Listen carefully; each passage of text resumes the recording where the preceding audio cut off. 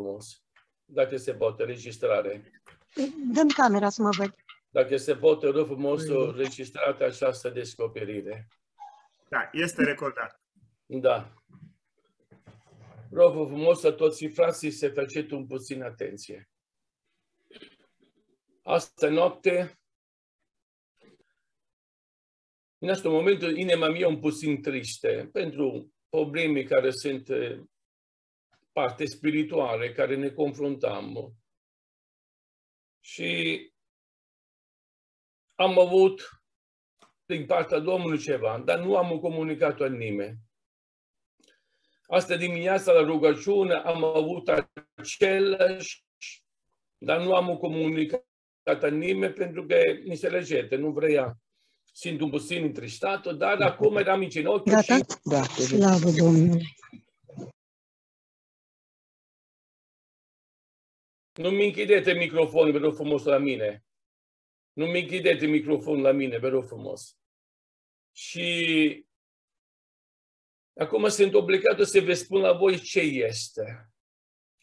Aveți voi ideea voastră harfa geografică de la Mare Negru, că începe de la Mare Negru până în Suedia, mi se înțelegeți, care trece spre, spre România, vorbim așa, merge, merge, vorbim așa, prin de Ucrania, u România, Polonia, mi se înțelege Turcia, acolo sus, sus, până eh, unde este Suedia, Finlandia și mai departe.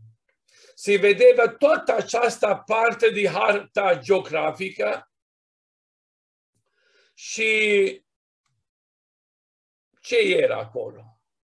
Se vedeva un vint, un vinto care era dintr-o parte era rece, de una parte era un vinto de război. Și se auziva din coșul de la graniță și dincolo, în parte ruși, în parte europeani, se auziva o galagie di soldati che fiecare spuneva noi suntem mai buni, noi suntem mai buni, noi suntem mai tare, noi suntem mai tare. Și se vedeva di toată această graniță, vorbim așa, ca parte de sus, sus, unde este uh, Suedia, vorbim așa, Finlandia, Suedia, vorbim așa, care merge spre pare Mare Neagră, vorbim așa în asta natură, poporul care era acolo în graniță, e, fugea, fugea pentru ce aceste doi armate puternice se poteva confruntare unul cu alții. Se poteva confruntare unii cu alții. Mai mult nu m-a fost dat că popor de graniță fugea și din partea dreaptă și din partea stângă se distanțava de la această graniță pentru ce armada de ambe parți poteva avere focul, vorbim așa, războiul, în aceste două parți. Mai mult de asta nu m-a fost dat.